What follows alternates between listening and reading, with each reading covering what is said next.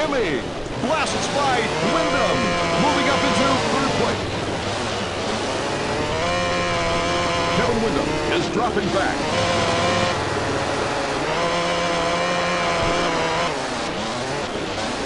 Windham cuts to the inside on Henry.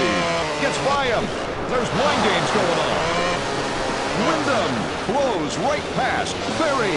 One lap to go.